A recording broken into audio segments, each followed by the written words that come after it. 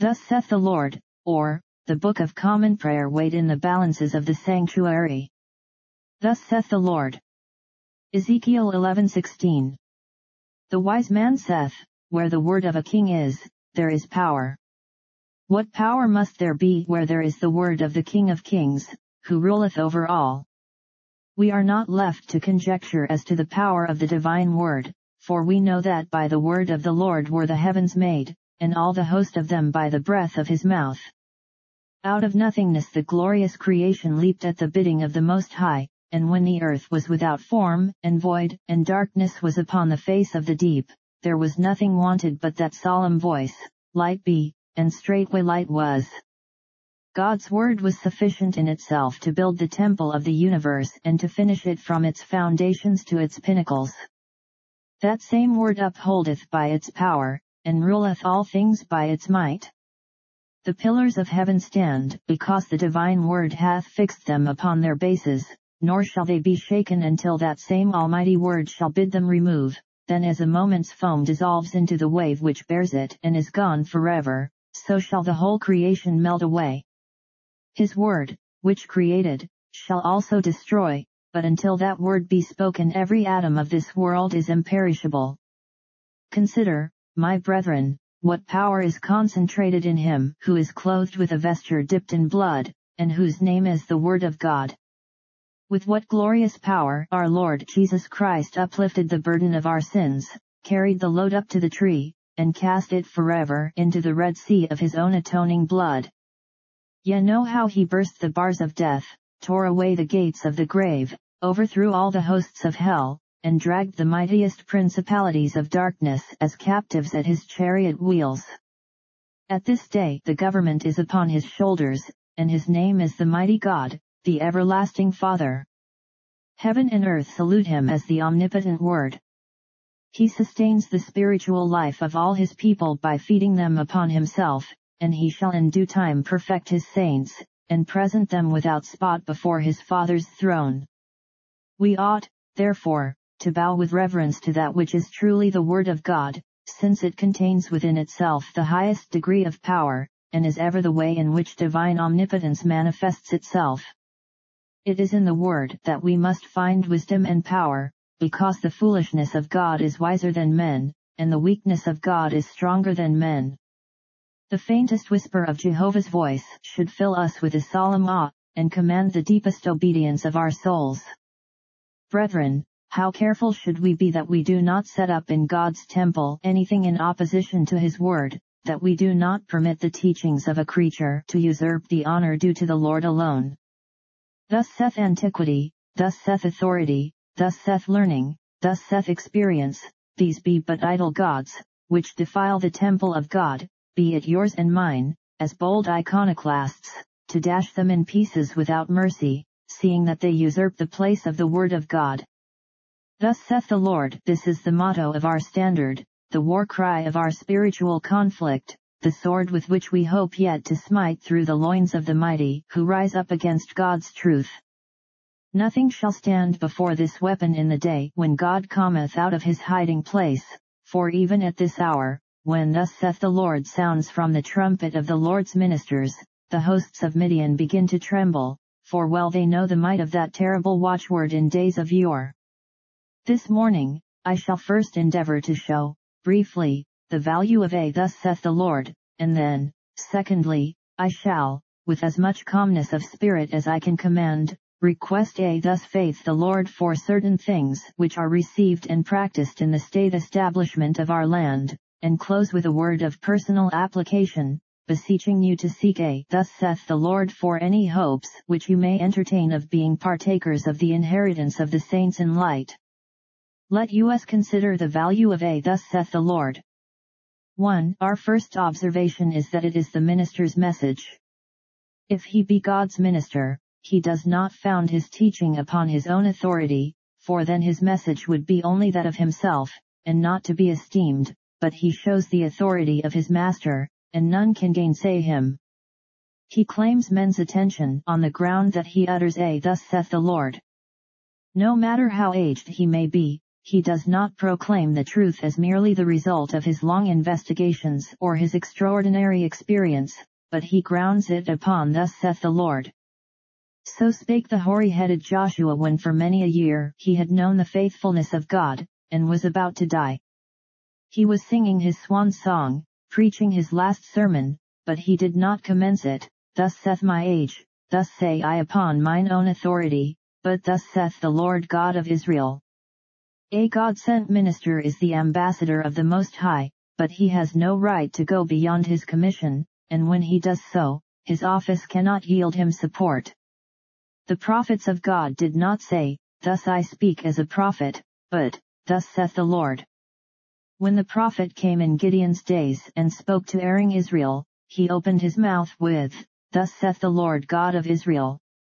Turn to the pages of Isaiah, and mark how frequent he quotes the divine authority, study the plaintive words of Jeremiah, and observe how solemnly his prophetic woes are prefaced with, Thus saith the Lord, and the soaring Ezekiel, to whom was given, as it were, six wings, that he might take more lofty flights than the eagle knoweth. Even he relied not upon the sublimity of his language or the glory of his imagery, but found the sinews of his strength in thus saith the Lord God. This is the trowel and this the hammer of God's builders, this the trumpet of his watchmen and the sword of his warriors. Woe to the man who comes in any other name. If we, or an angel from heaven, shall preach unto you anything but a thus saith the Lord, no matter what our character or standing, give no heed to us, but cleave unto the truth as it is in Jesus. To the law and to the testimony, if we speak not according to this word, it is because there is no light in us. That test which we demand to be exercised upon others, we cheerfully consent to be exercised upon ourselves, praying that we may have grace to forsake our errors as we would have other men forsake theirs. 2. Thus saith the Lord is the only authority in God Church.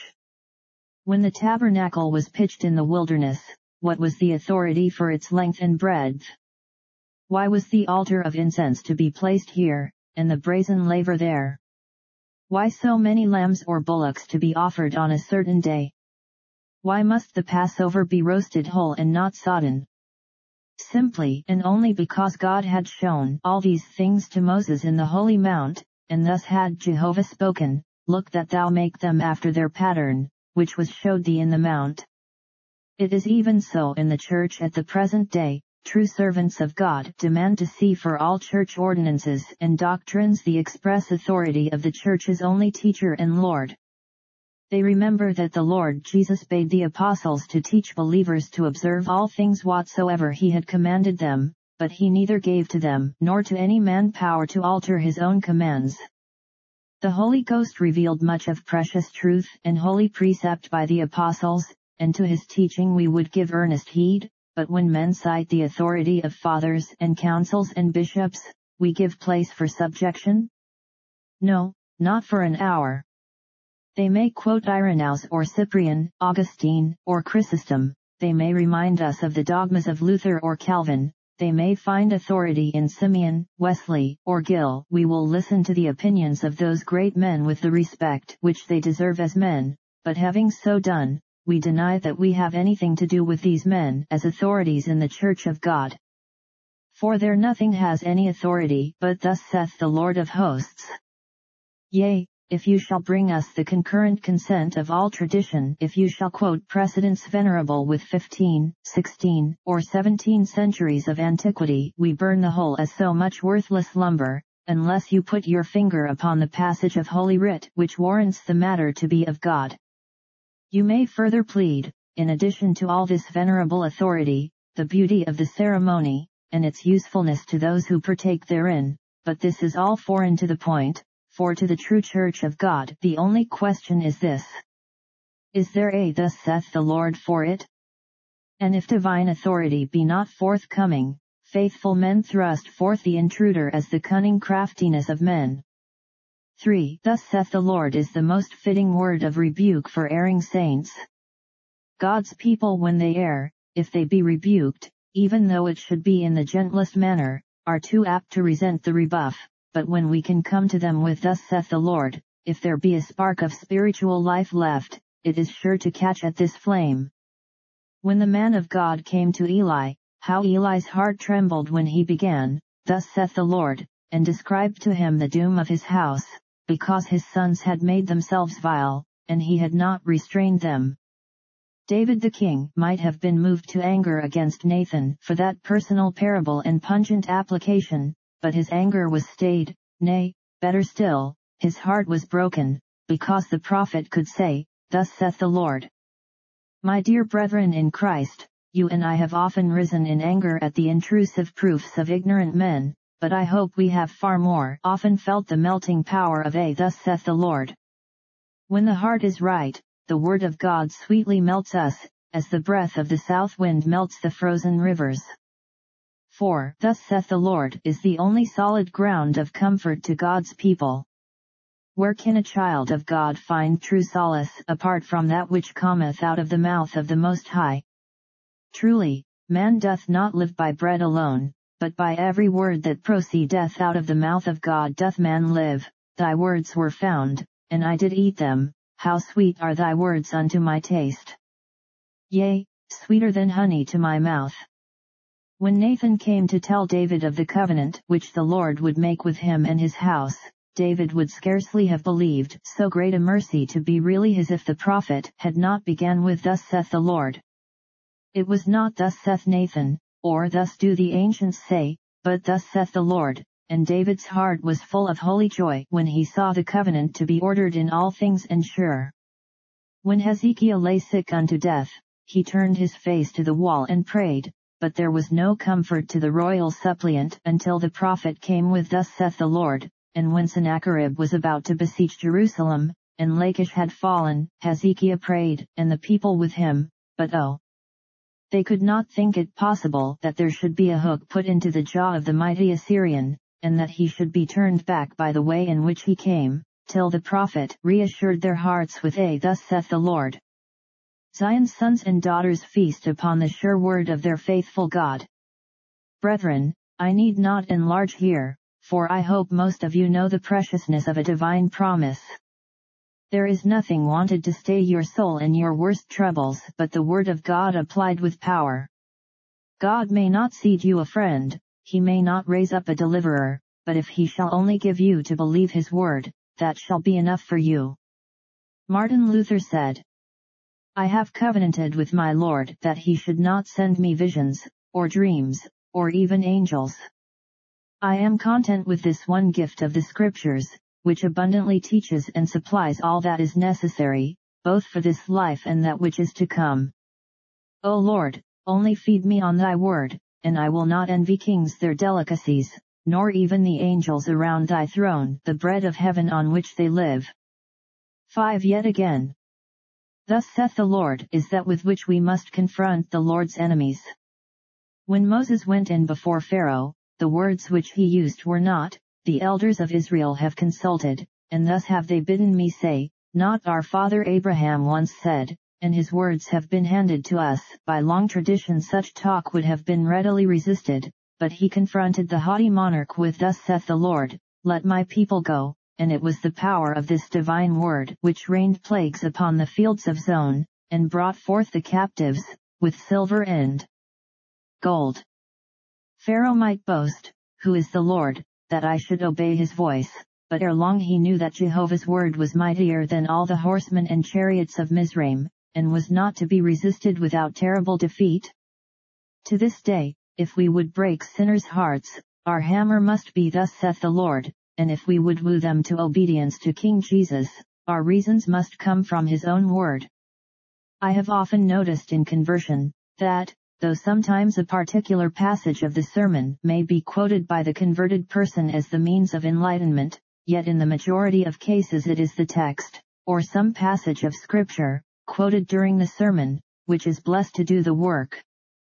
McCheyne says, depend upon it, it is God's word, not our comment upon God's word, that saves souls, and so it is. Let us use much of scripture, much of the pure silver of sacred revelation, and no human alloy. What is the chaff to the wheat, saith the Lord. 6. To close this point. Such an authority has a thus saith the Lord, that it is not to be despised without entailing upon the offender the severest penalty. Samuel came to Saul with Thus saith the Lord, and bade him destroy the Amalekites. He was utterly to cut them off, and not to spare so much as one of them. But Saul saved the best of the cattle and the sheep, and brought home Agag, and what was the result? His kingdom was taken from him and given to a neighbor of his that was better than he, and because he exalted himself beyond measure to do otherwise than according to the letter of God's command, he was put away forever from having dominion over Israel. And mark this word. If any church in Christendom shall continue, after light is given and after plain rebuke is uttered, to walk contrary to the word of God, and to teach that which is inconsistent with Holy Scripture, as Saul was put away from the kingdom, so shall that church be put away from before the Lord of hosts, and if any man, be he who he may, after receiving light from on high, continues wilfully to shut his eyes, he shall not, if an heir of heaven, be rejected from eternal salvation, but he shall be cast off from much of the usefulness and comfort which he might otherwise have enjoyed. He knew his master's will, and did it not he shall be beaten with many stripes. He has been as the horse or the mule which have no understanding, and his mouth shall be held in with bit and bridle. Many sorrows shall be to those who dare to dash themselves against the thick bosses of Jehovah's buckler by opposing his thus saith the Lord. Upon whomsoever this stone shall fall, it shall grind him to powder, and whosoever shall fall upon it shall be broken, to his own lasting damage. O my brethren! I would that we trembled and stood more in awe of God's word. I fear me that many treat the things of God as though they were merely matters of opinion, but remember that opinion cannot govern in God's house. God's word, not man's opinion, claims your allegiance. Remember that although our ignorant conscience may not accuse us of error, yet if we walk contrary to God's word, our conscientiousness does not screen us from sin, for conscience is not the sovereign arbiter of right and wrong, but the plain word of God is the rule of equity. I do not sin so foully as if I sinned against my conscience, but I still sin, if, having an unenlightened conscience, I ignorantly transgress. But if I wilfully keep my conscience in darkness, and continue in errors which I might easily know to be such by a little thought and searching of God's word, then my conscience can offer me no excuse, for I am guilty of blindfolding the guide which I have chosen, and then, knowing him to be blindfolded, I am guilty of the folly of letting him lead me into rebellion against God. O Church of God! Hear thou the voice of thy great Founder and Lord. Whosoever, therefore shall one of these least commandments, and shall teach men so, he shall be called the least in the kingdom of heaven. He that hath my commandments, and keepeth them, he it is that loveth me. And he that loveth me shall be loved of my Father, and I will love him, and will manifest myself to him. O for a stern integrity, that will hold the word, and will never depart from it, come what may. This much concerning the value of a thus saith the Lord. Dear friends, the second part of our subject may be very displeasing to some who have strayed in here, but that I cannot help. I do not remember ever asking anyone to come and hear me, and therefore, as you come of your own wills, when I have any truth to speak, I shall not conceal it because you choose to be present. At the present crisis, I feel that it is woe unto me if I do not lift up my voice like a trumpet, and urge with all my might the necessity of reformation in our state church. I have, moreover, an excellent excuse for the inquiry I am about to make, for as I am publicly charged with ignorance, it is at once my duty and my privilege to seek instruction of those who claim authority to teach. When one is known to be profoundly ignorant, and there are certain fathers in the faith who have the power to instruct, the least thing that can be allowed us is to ask questions, and the smallest boon we can expect is to have them answered by men expressly ordained to instruct the ignorant. The Reverend W. Goode, the Dean of Ripon, appears to be much better acquainted with the extent of my reading and mental acquirements than I am myself. He speaks with all the positiveness of a personal acquaintance concerning my reputed ignorance, and for my own part I am not at all anxious to question so very reverend an authority. He writes, As to that young minister who is now raving against the evangelical clergy on this point, it is to be regretted that so much notice has been taken of his railings. He is to be pitied, because his entire want of acquaintance with theological literature leaves him utterly unfit for the determination of such a question, which is a question, not of more doctrine, but of what may be called historical theology, and his charges are just a parallel to those which the Romanists would bring against himself as well as others for the interpretation of the words, This is my body. But were he a wiser man than he is, he would know better what his qualifications are for passing judgment on such a point, and be willing to learn from such facts, among others, as the Gorham judgment and the cases of Mr. Maskell and Mr. Mozley, what ground there is for his charges against the evangelical clergy. Let him hold and enforce his own view of doctrine as he pleases, but when he undertakes to determine what is the exclusive meaning of the Book of Common Prayer, and brings a charge of dishonesty against those who take a different view of that meaning from what he does, he only shows the presumptuous self-confidence with which he is prepared to pronounce judgment upon matters of which he is profoundly ignorant. To hold a controversy with him upon the subject would be to as little purpose as to attempt to hold a logically constructed argument with a child unacquainted with logical terms.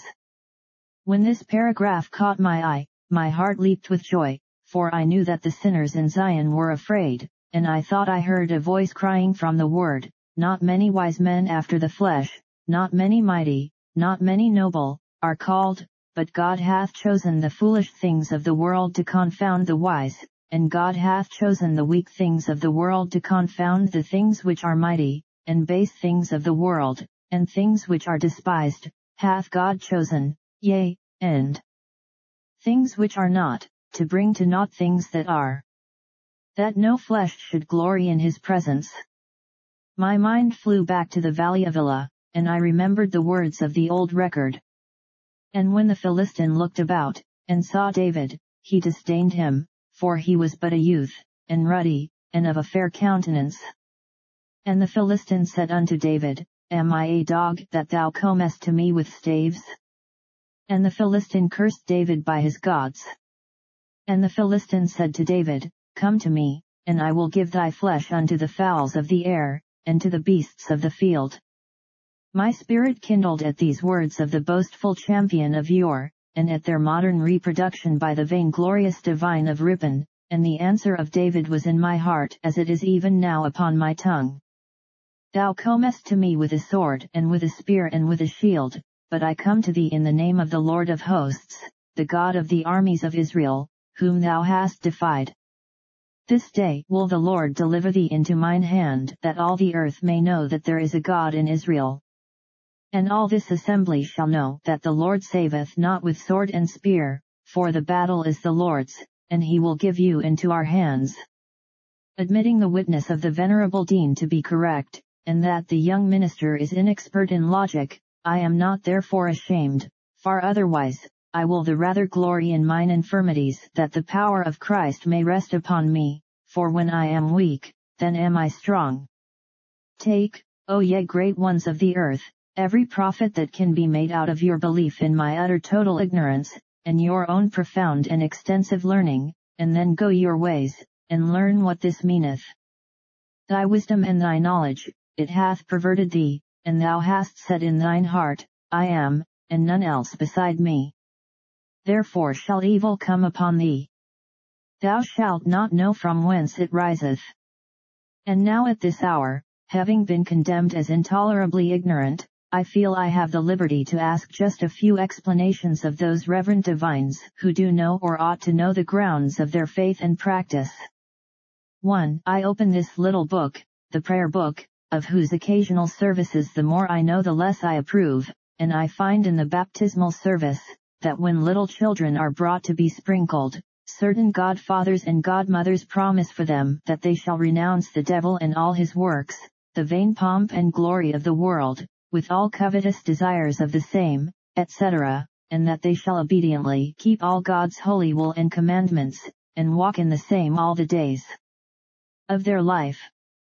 To me, it seems that they might as well promise that the infants should grow up with Roman noses, auburn hair, and blue eyes, for they are just as able to make them do the one as the other. I shall not however intrude my opinion further, but simply ask whether there is a thus saith the Lord for any man standing proxy for a babe, and making such promises in its name, in other words, I ask for apostolical, prophetic, or any other form of scriptural precept, or precedent, for the use of proxies in baptism. True religion is a personal matter is its first manifestation in regeneration to be connected with the impossible promises of others? Plain proof texts are requested for godfathers and godmothers, and such important persons deserve to be defended by the clergy, if texts of scripture can be discovered. As I cannot imagine where the texts will be found, I must pause till the learned shall produce them. Further, I find that these children enter into a covenant by proxy, of which we are assured that the promise our Lord Jesus will for his part most surely keep and perform, but the children are bound to do their part, that part being something more than the gigantic task of keeping all the commandments of God. Now I ask for a, thus saith the Lord for such a covenant as this. I find two covenants in the Word of God. One is the covenant of works, this do, and thou shalt live, I find another, the covenant of grace, which runs only in this wise, I will be their God, and they shall be my people.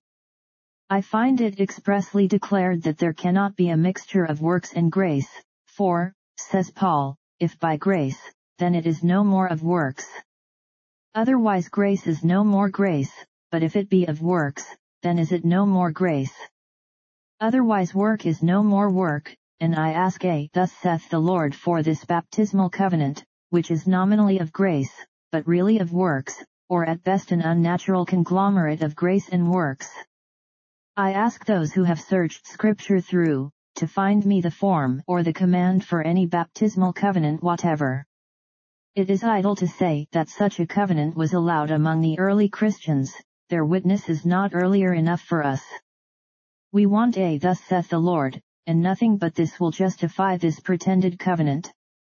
We then find that after this covenant has been made, and the water has been applied in a manner which we think needs also a thus saith the Lord to justify it, it is publicly declared that the babe is regenerated, seeing now, dearly beloved brethren that this child is regenerated and grafted into the body of Christ's church, let us give thanks unto Almighty God for these benefits, and with one accord make our prayers unto him, that this child may lead the rest of his life according to this. Beginning. End, again, we yield thee hearty thanks, most merciful Father, that it hath pleased thee to regenerate this infant with thy Holy Spirit, to receive him for thine own child by adoption, and to incorporate him into thy holy church, etc. We are told we do not understand the meaning of regeneration as it is used in the services of the Anglican Church. The meaning of this passage is historical, hypothetical, ecclesiastical, and we know not what. The words to be born again did not formerly seem to us to be so very difficult to understand, nor do they appear so now as they stand in Scripture, for we find in them the one regeneration which has renewed us in the spirit of our mind, and we cannot consent to use those words in any other sense. Well, whether regeneration be or be not a very equivocal word, we simply ask, is there a thus saith the Lord for the assertion that a sprinkled infant is therefore regenerate in any sense in the world? Will any person find us a text of scripture, he shall have large rewards from clergymen with uneasy consciences. We put our inquiry again in plain terms, will someone oblige us with a plain, thus saith the Lord proving that water baptism in any one instance makes an unconscious babe a member of Christ and a child of God, in any sense which any sane person chooses to attach to those words. Where is the passage where? Echo answers where. But this subject you have been considering for some time, and are well convinced that the process of regenerating babies by occult influences conveyed by water is a pure no, an impure invention of priestcraft. There is therefore no necessity that I enlarge upon a point so well understood, 2. I have a second question to ask. There is prescribed in the Book of Common Prayer a peculiar ceremony called confirmation. I do not remember to have read of that in Scripture. I would like to have a thus saith the Lord for that rite.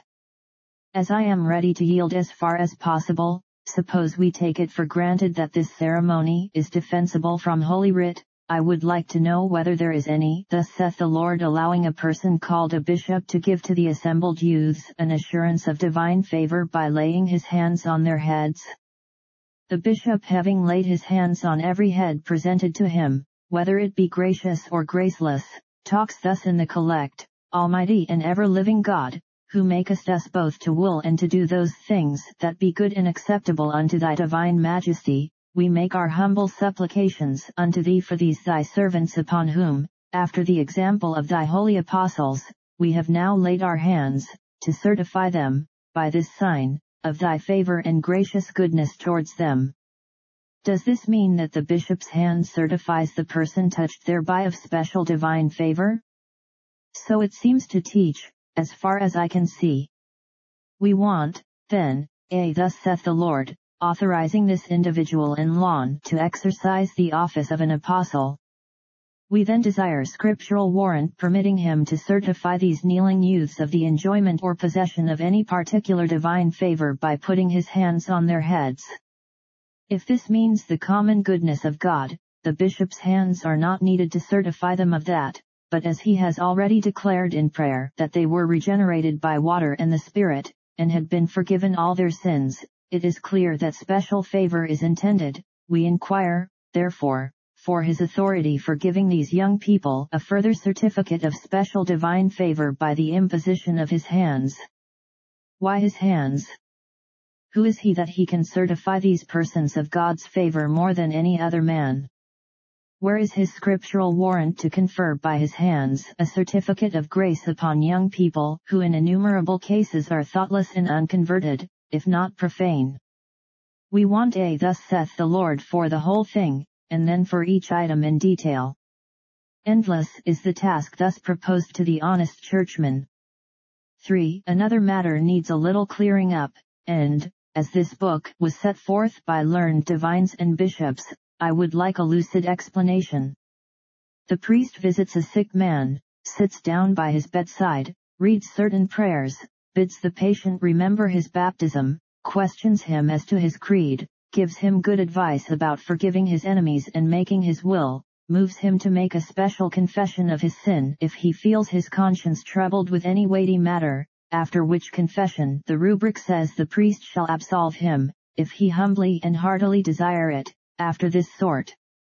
Here is the absolution, and I humbly and heartily desire a thus saith the Lord for it. Our Lord Jesus Christ, who hath left power to his church to absolve all sinners who truly repent and believe in him, of his great mercy forgive thee thine offences, and by his authority committed to me, I absolve thee from all thy sins, in the name of the Father, and of the Son, and of the Holy Ghost. Sir Priest, I want you to give me a plain warrant from God's word for your absolving my dying neighbor at this rate. Who are you that you should use such words? The season is solemn. It is the hour of death, and the matter is weighty, for it concerns the eternal interests of the dying man, and may nay, will, if you be found to be acting presumptuously in this matter involve your own soul in eternal ruin. Whence did you derive your right to forgive that sick man? Might he not raise his withered hands and return the compliment by absolving you? Are you quite sure as to the committal of divine authority to you? Then show me the deed of gift, and let it be clearly of divine origin.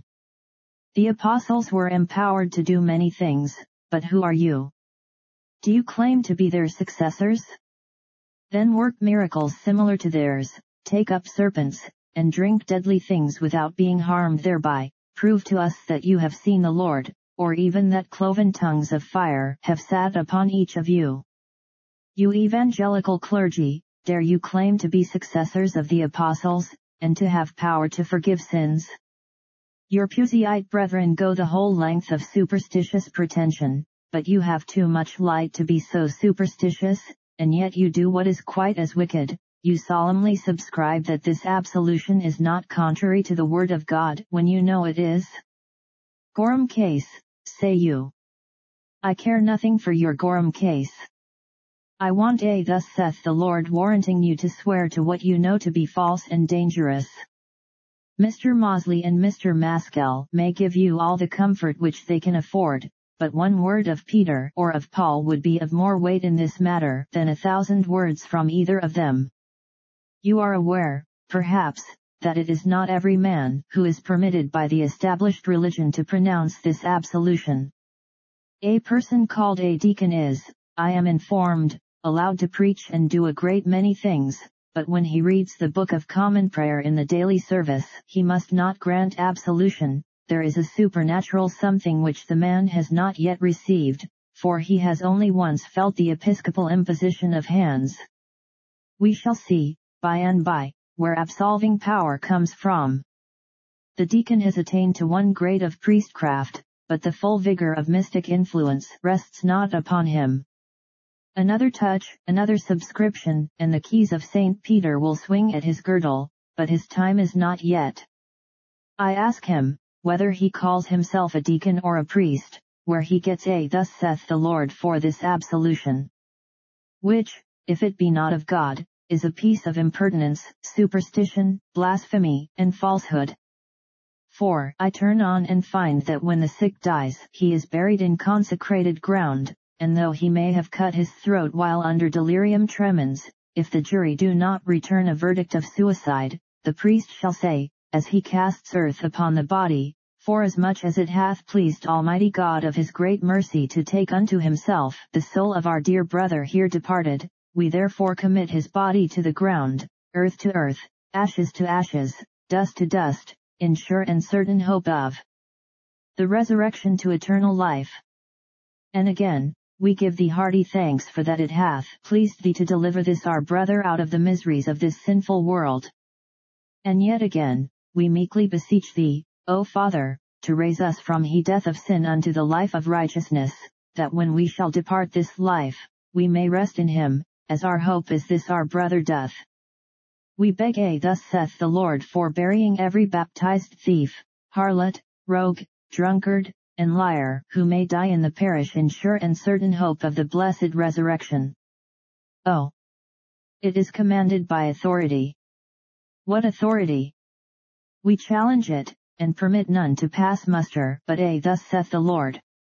Until clergymen will bring us scriptural warrant for uttering falsehoods over a grave, we dare not cease our testimony against them. How long will the many godly laymen in that church remain quiet? Why do they not bestir themselves, and demand revision or disruption? 5. Turning a little further on, into a part of the prayer book not much frequented by ordinary readers, we come to the ordering of priests, or the way in which priests are made. Why priests? Is one believer more a priest than another, when all are styled a royal priesthood? Let that pass. Of course, brethren, the priests are made by the bishops, as the bishops are made by Lord Palmerston, or Lord Derby, or any other political leader who may be in office. The Prime Minister of England is the true fountain from whom all bishops flow, and the priests are minor emanations, branching off from the mitre rather than the crown. Here is the way of ordering priests. Let heaven and earth hear this and be astonished. When this prayer is done, the bishop with the priests present shall lay their hands severally upon the head of every one that receiveth the order of priesthood, the receivers humbly kneeling upon their knees, and the bishop saying, receive the Holy Ghost. Listen to it, now. Think you behold the scene.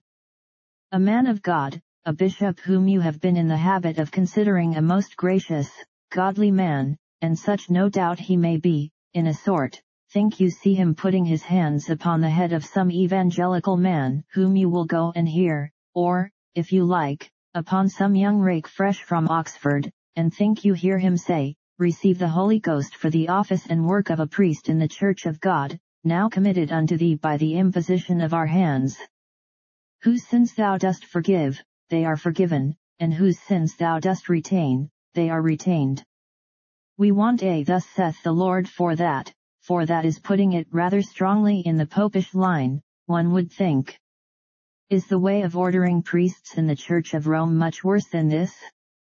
That the apostles did confer the Holy Ghost, we never thought of denying, but that Oxford, Exeter, or any other occupants of the bench can give the Holy Spirit, needs some proof other than their silk aprons or lawn sleeves can afford us. We ask, moreover, for one instance in which an apostle conferred upon any minister the power to forgive sins, and where it can be found in Scripture that any man other than an apostle ever received authority to absolve sinners. Sirs, let us say the truth, however much yonder priest may pretend at his parishioner's bedside to forgive sin, the man's sins are not forgiven, and the troubled conscience of the sinner often bears witness to the fact, as the day of judgment and the fearful hell of sinners must also bear witness.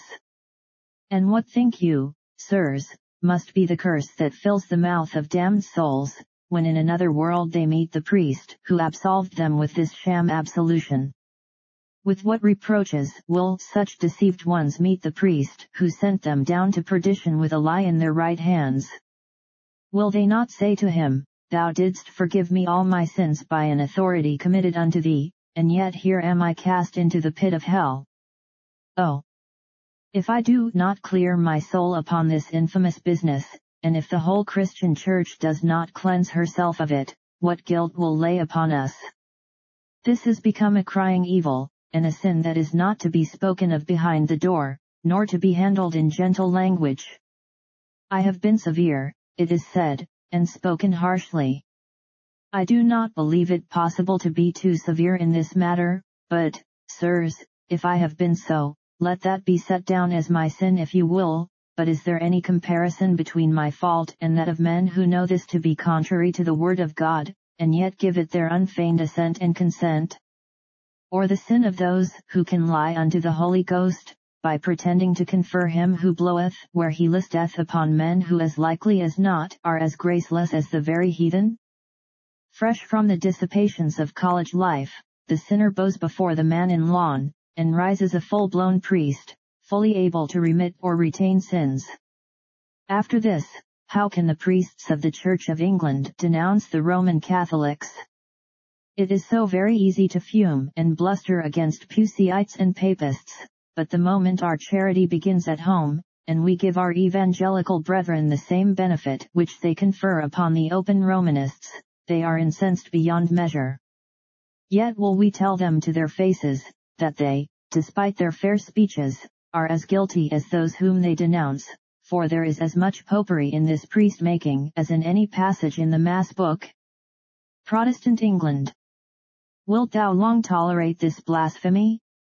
Land of Wycliffe, birthplace of the martyrs of Smithfield, is this long to be borne with? I am clear of this matter before the Most High, or hope to be, ere I sleep in the grave, and having once sounded the trumpet, it hall ring till my lips are dumb. Do you tell me it is no business of mine?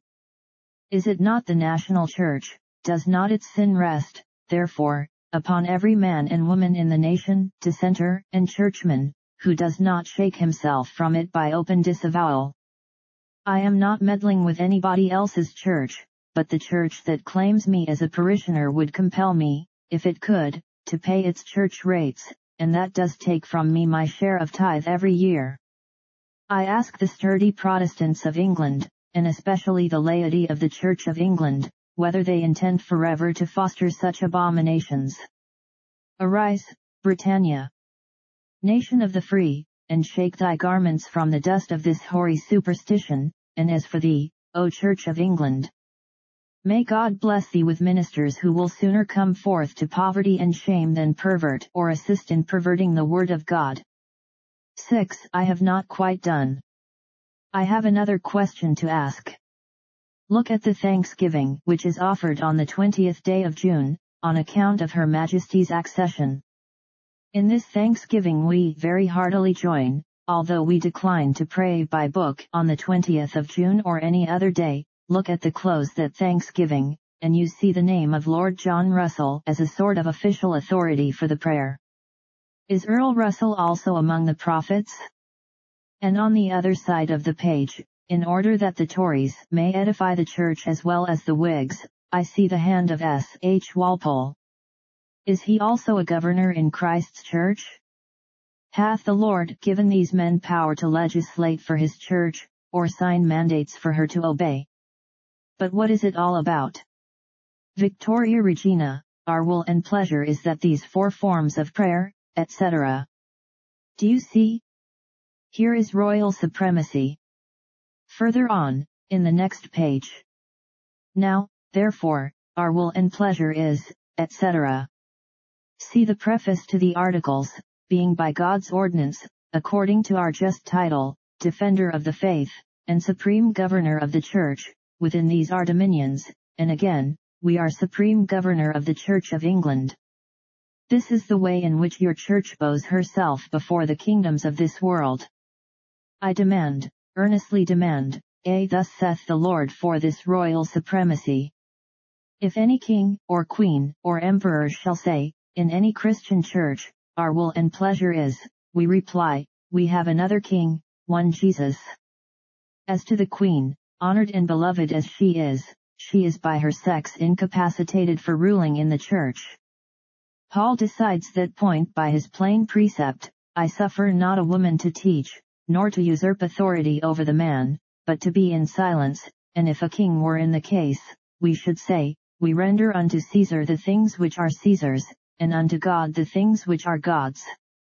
In civil matters, we cheerfully obey princes and magistrates, but if any king, queen, emperor, or what not, usurps power in the church of God, we reply, one is our master, even Christ, and all we are brethren. The crown rights belong to King Jesus.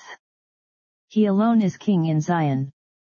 But I am met at once with the reply, well, but Christ is the head of the established church, as well as the queen. I remember reading about a three-headed dog which kept the gates of hell, but I never dreamed of a two-headed church till I heard of the Anglican establishment. A two-headed church is a monster. The queen the head of the church, and King Jesus the head of the church, too. Never. Where is a thus saith the Lord for this? No man living who calls himself an Englishman has a word to say of her majesty except that which is full of honor and esteem and loyal affection, but the moment we come to talk about the Church of Christ, whoever shall say, or think, or believe, that there is any headship to the Church of Christ except the person of Christ himself, he knoweth not what he saith nor whereof he affirmeth. Our Lord Jesus Christ is the head over all things to his church, which is his body. The fullness of him filleth all in all. Here stand the two letters V, R at the top of certain mandates, and they mean just this. Our royal authority commands that you shall not believe this, and you shall believe that, you shall not pray this, and you shall pray that, and you shall pray on such a day, and so on. The church which thus bows to authority commits fornication with the kings of the earth, and virtually renounces her allegiance to Christ to gain the filthy lucre of state endowments. He is the freeman whom the truth makes free, and who wears no gilded collar, with a chain hanging therefrom held in a royal hand. Remember how the chancellor laughed to scorn the whole bench of bishops, and rightly so, for he who voluntarily makes himself a bondman deserves to feel the lash. May the little finger of our state grow heavier than the loins of James or Elizabeth, until all good men flee from the house of bondage. Servants of God, will ye be servants of man? Ye who profess to follow King Jesus and see him crowned with the crown wherewith his mother crowned him in the day of his espousals, do you take off his diadem to put it upon the head of another? No, it shall never be. Scotland has repelled the royal intrusion right bravely by her sons of the Free Church, who have left all to follow King Jesus. Her bush burned in the olden times, but was not consumed, the covenant was stained with blood, but it was never slain. Let us revive that covenant, and, if need be, seal it with our blood. Let the Church of England have what king she pleases, or what prince she pleases for her head, but this I know, that there is no thus saith the Lord concerning the ecclesiastical supremacy of Victoria Regina, nor the authority of Lord John Russell, or S. H. Walpole, or any of that company, honorable though they be. 7. Now once more. One other question. I am profoundly ignorant, and have not the power to judge of these things, so am I informed, and therefore I would like to ask for a Thus saith the Lord for a few of the canons, no, perhaps I had better not read them, they are too bad, they are full of all malice and uncharitableness, and everything that cometh of the foul fiend. I will ask whether there can be found any Thus saith the Lord for this. Canon 10. Maintainers of schismatics in the Church of England to be censured. Whoever shall hereafter affirm that such ministers as refuse to subscribe to the form and manner of God's worship in the Church of England, prescribed in the Communion Book, and their adherents, may truly take unto them the name of another church not established by law, and dare presume to publish it, that this their pretended church hath of long time groaned under the burden of certain grievances imposed upon it, and upon the members thereof before mentioned, by the Church of England, and they orders and constitutions therein by law established, let them be excommunicated, and not restored until they repent and publicly revoke such their wicked errors. What scripture warrants one church to excommunicate another merely for being a church, and complaining of undoubted grievances? Canon 11.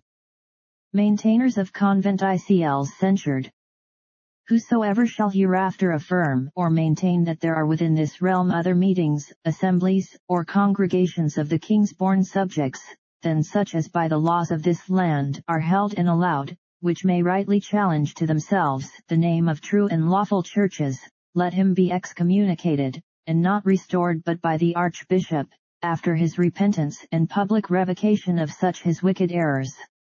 Where doth Holy Scripture authorize the excommunication of every good man who is charitable enough to believe that there are other churches beside his own? Search ye out of to book of the Lord, and read. For very much in this book of canons I beg to be informed of a thus saith the Lord. For matters which do not concern religion and have only to do with the mere arrangement of service, we neither ask nor expect a divine precept, but upon vital points of doctrine, ceremony, or precept, we cannot do without it. Scarcely can any document be more inconsistent with Scripture than the Book of Canons, and hence it is ever kept in the background, because those who know anything about it must be ashamed of it.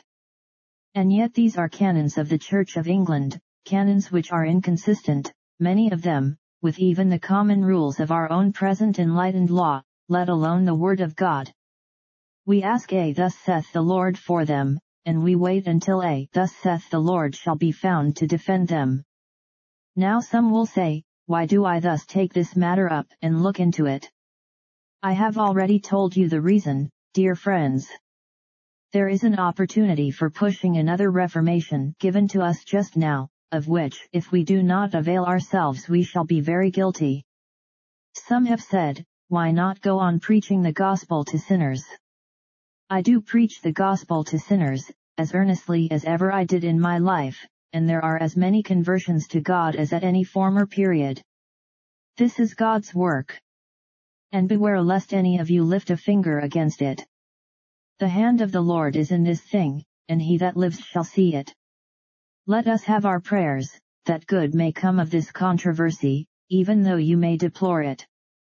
As for anything else that you can do, it shall not turn us a hair's breadth from this testimony to which we feel God has called us, though it bringeth upon us every evil that flesh would shrink from. The words of Dr. Guthrie are well worth quoting here. The servant is no better than his master, and I do believe, were we more true to God, more faithful and honest in opposing the world for its good, we should get less smoothly along the path of life, and have less reason to read with apprehension these words of Jesus. Woe unto you when all men shall speak well of you.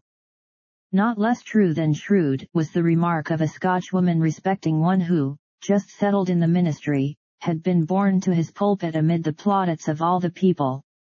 If he is a faithful servant of the Lord Jesus Christ, he will have all the blackguards in the parish on his head before a month is gone.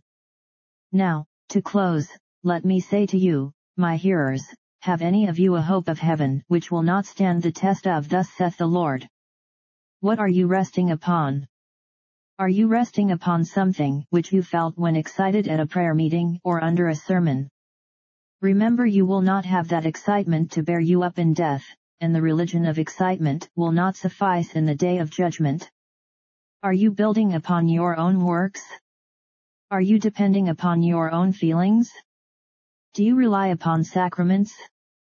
Are you placing your trust upon the word of man? If so, remember that when God shakes all things he will shake these false foundations, but oh! Build upon the word of my Lord and Master, trust your soul with Jesus. Hating sin, and clinging to the great sin bearer, you shall find in him a rock of refuge which can never, never fail you, but I do conjure you, as the Lord liveth, search, and try yourselves by the word of God. No doubt there are many among us who are not built upon the rock of ages, and we may any of us be deceived by a mere name to live. Do, then, since the test day must come, since you must be weighed in the balances, weigh yourselves now, my hearers, and let none of us go down to the chambers of destruction, believing ourselves to be heirs of heaven, being all the while enemies to the Most High God. May the Lord exalt his own word, and give us a sure inheritance in the blessings which it brings. Amen.